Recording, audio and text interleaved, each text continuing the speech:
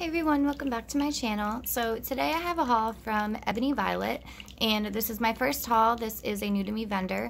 I've seen a lot of positive reviews about her on Instagram mostly and I think I saw a few things on Facebook as well. I actually saw somebody, um, actually a lot of people because somebody had asked a recommendation for new vendor and a lot of people said Ebony Violet. So that's really what made me order in the first place and I ordered twice. So this is um, a haul of both and she was doing a sale the first time around. Or was it the first time or the second time? I can't remember.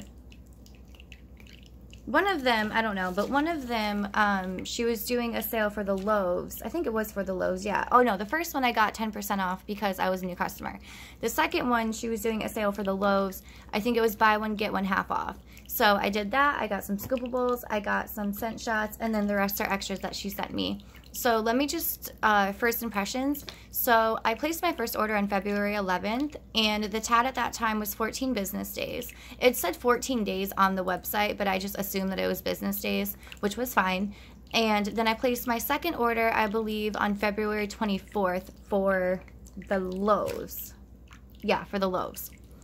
Um, she messaged me at some point in March because my first one had not shipped yet. So she had emailed me and she said something along the lines of, you know, I'm very sorry, I'm running a little bit behind. Um, I'm going to refund your shipping for the first order, which was great. And I was like, yeah, thank you so much. So she sent me back $11. And then for my second one, I had asked her, you know, uh, when about the time do you think the second one will go out? And at that point, she said the latest that those will go out was March 13th. So I said, okay, cool. She asked me if I wanted to just ship them together. And I was like, you know what? She's a new vendor she got a lot of orders within a very short period of time. They're custom loaves. Uh, the sam the scoopables I think were also custom as well. You couldn't customize them, but you can get whatever scent you want, and then she had to pour them. Is really what I'm saying. Uh, so I gave her a break, and I was like, yeah, just combine them. So she was saving saving on shipping anyway by putting them in one box. Uh, so I did get refunded for the first one. So I was like, you know what, just just let her. So I put them together. So March 13th came and went, and I never got a notification for either one of them. So I think on the 22nd, I messaged her um, and I'd asked her, you know, I know you said March 13th was the cutoff date that you're going to ship them out. So I just wanted to ask ahead of time, you know, if maybe I missed a shipping notice or something. And she said, no, you didn't miss it. I am behind. Uh, next time that I do these loaves, I will definitely come up with a better system. Okay, fine. Still pretty late, but I was like, okay, you know, that's cool, whatever. Um, and then I think one or two days later, I messaged her again or maybe the 22nd was my last message. I can't really remember the details on that, but I did message her again and she did not respond to me, but she did send my stuff out within the next day. But I don't think it updated in the system for another day or so. So really within like three days, I would say she sent them out. Uh, so they were pretty late. I got them, I think, on the 25th. I think it was because I know it was stuck in transit at one point, which obviously isn't her fault. But I want to say on the 25th I got it, which was pretty late. So first impressions on, you know, shipping really wasn't the greatest. I got my invoice here, and when I opened the box, it said on there, Hi Tara, I truly apologize for the delay in your order. Please use code blank um, for $15 off your next order. So she did give me a whole $15 to spend on my next order as her apologies, which was amazing. Thank you so much if you're watching. And then she also sent me a handful of samples, some candy, and a whole nother loaf. So I can't complain here. so thank you so much for all of the extras. I truly appreciate them. And I do understand that people get behind, especially when you're a new vendor and everybody recommends you and, you know, you get a bunch of orders at once. Totally, you know, I get that. I don't have a business card. I did not receive one. I don't know if she has one made up or not.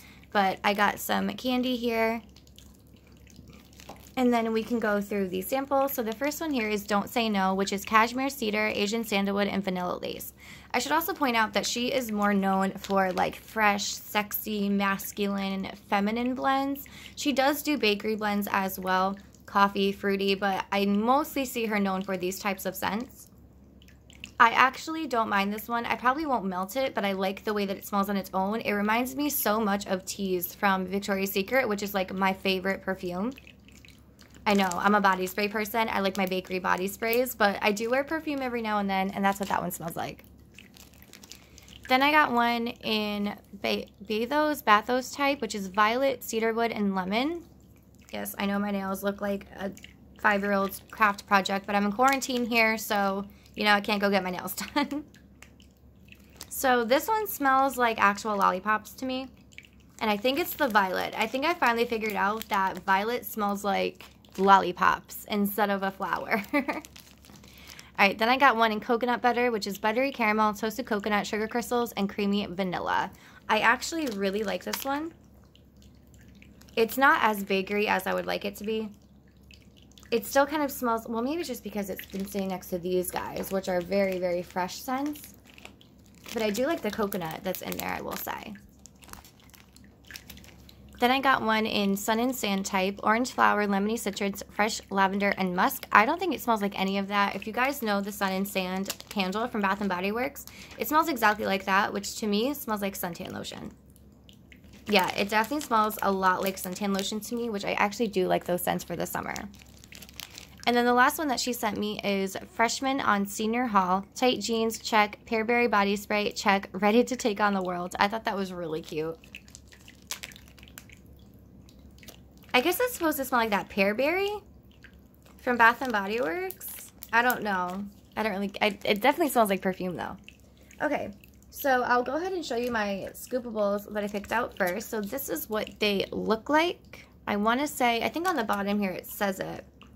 Five point something, 5.5 ounces. So this one's in Cafe Cubano.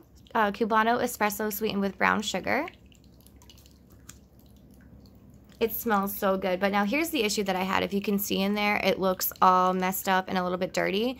So these um, caps came off in transit and she uses that like, uh, that cardboard like wormy stuff. I don't know how you explain it, like that shredded paper.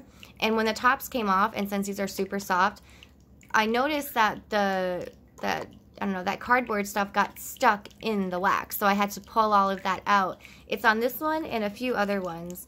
Uh, so that wasn't very nice, but I mean, it still melts, so it is what it is. The next one that I got is strawberry jam, homemade sweet strawberry jam.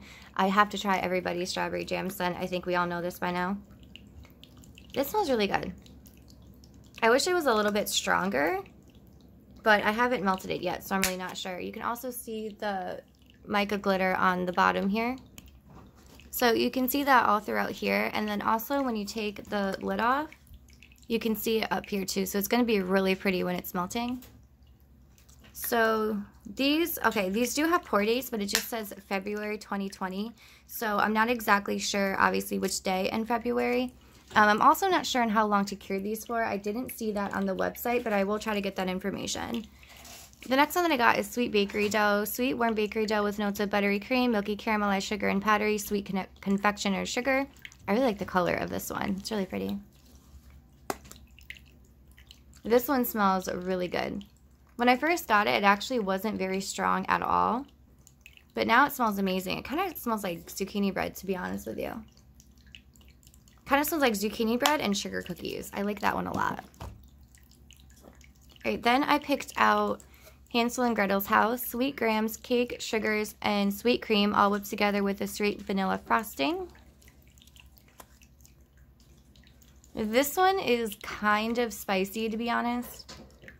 It's definitely not as sweet as I wanted it to be. It's not super overpower, overpoweringly cinnamony, um, but we'll have to see about that one. I'm not sure yet. All right, then I got brown sugar pound cake, um, caramelized pecan, brown sugar, and a hint of toasted almonds. This one's pretty good. wow, voice, Jesus. This one's pretty good. It doesn't really smell a whole lot like brown sugar though. I don't know. It's just not very strong, so I don't exactly know what I'm getting from it. I mean, it smells like pound cake and it smells like a bakery scent. It's just not very strong. So hopefully that comes out a little bit more when I'm melting it. All right, then the last scoopable that I got was cotton candy frosting, strawberry, raspberry, plum, sugar, sugary crystals, and sweet vanilla. Now we all know what cotton candy frosting scent description is. This is amazing. I really like her cotton candy scent. It's like straight to the point, cotton candy, very sweet, very strong. So I like that one a lot. Okay, so moving on to the loaves that I got. So these were all custom made by me. Um, I obviously picked out the scents. So I'm going to go ahead and get started. So like I said, she sent me a whole extra one, and I really like the scent that she chose. So we'll just start with that one. Okay, so the one that I blended was Fire Ants. Well, she called it Fire Ants, which I thought was a really cute name. She actually named all of these. And uh, Daughter of Fire and Apple Fritter. I honestly can't remember the scent description for Daughter of Fire. I'm sure I have it somewhere. It smells so good. Let me grab that scent description for you. Oh my goodness, I can't find it. Um, I love the apple fritter that's in here. And it smells masculine. I think it's like a masculine cologne scent that I chose. I will have to find that scent description because this smells so good. So it obviously smells like apple fritter and some type of masculine scent that I can't remember the name of. So this one's plain. Uh, there's no embeds or anything on this one. I do like the backs though. The backs are cute. I would say that these loaves are around five ounces. I don't think it says on here.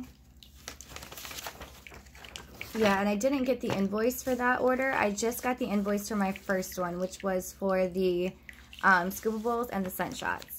So, I mean, it doesn't have the prices on the invoice anyways, but I guess it's not that big of a deal.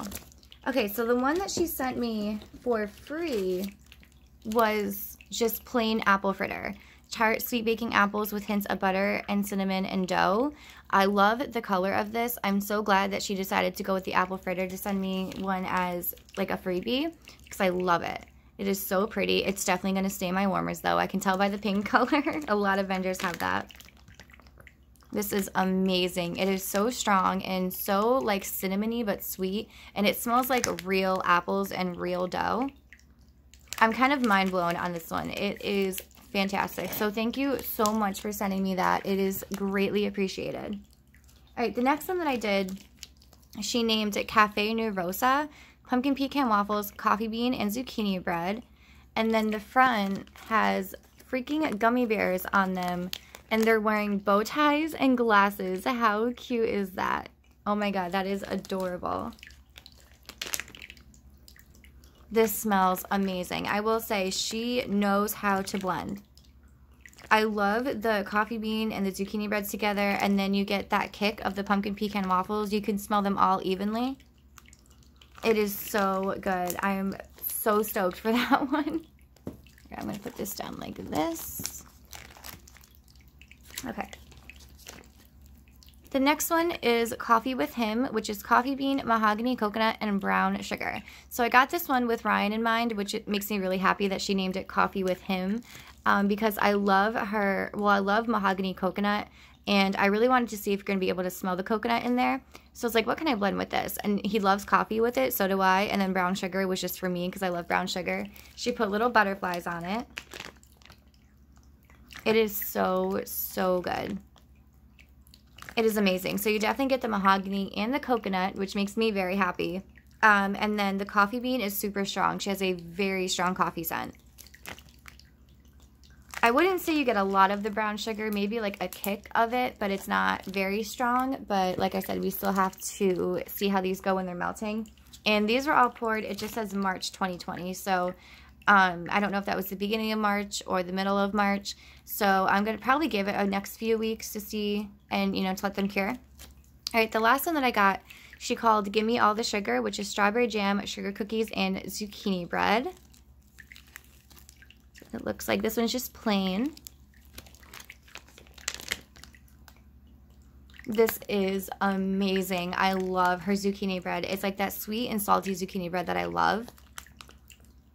I wish the strawberry jam was heavier though. Because you can't smell it that much, but you definitely get the um the sugar cookie. So it smells a lot like a fake and bake. Really, really awesome scent. I just really hope the strawberry comes out a little bit more because I can't really smell it at all right now.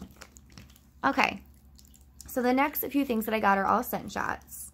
So the first one I have here is coconut milk sorbet, fresh coconut blended into a creamy sorbet.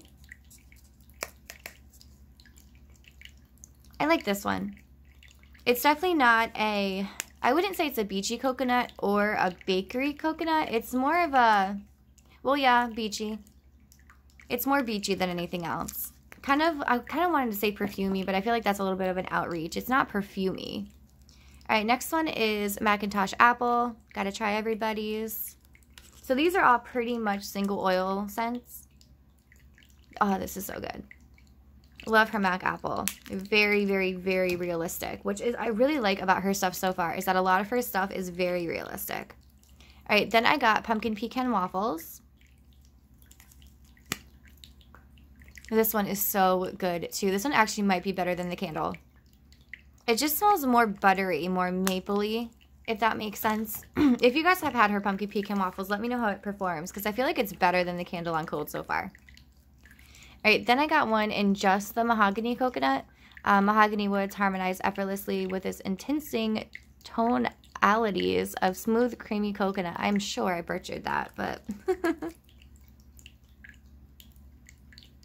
now, see, I feel like you get the coconut more in the loaf than I do in the scent shot. It's still really good, and you get a little bit of it, but it's definitely not as strong as it was in the low, so that's kind of weird. All right, then I got strawberry buttercream, luscious buttercream with frosting with plum and juicy strawberries. It's still kind of light. It's the same thing with the strawberry jam, like scoopable. Her strawberry scents are just very light, so uh, I don't know. I don't really have high hopes for my loaf anymore. Uh, but look at the bottom of this one. It's like oily and you can see all that glitter stuff at the bottom. Oh, that's to stain.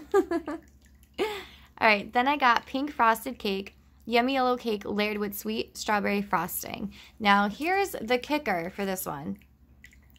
I smell way more strawberry in this than I do in any one of those single strawberry oil ones.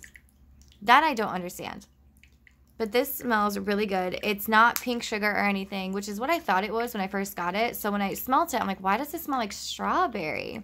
Um, which I'm not complaining about because I think I would like this more than like a pink cake. Uh, but just letting you guys know, it is not pink sugar. It is strawberry. And it smells delicious.